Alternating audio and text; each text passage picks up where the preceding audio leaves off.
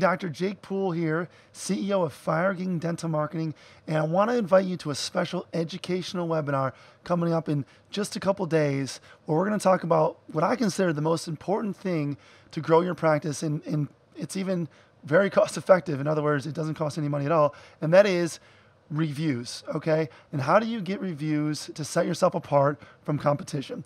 We're going to talk about exactly what you need to know. We're going to talk about the right way and the wrong way that you should be asking for reviews. We're going to talk about how you can deal with Yelp. We're going to talk in depth about Yelp. A lot of people have questions about that.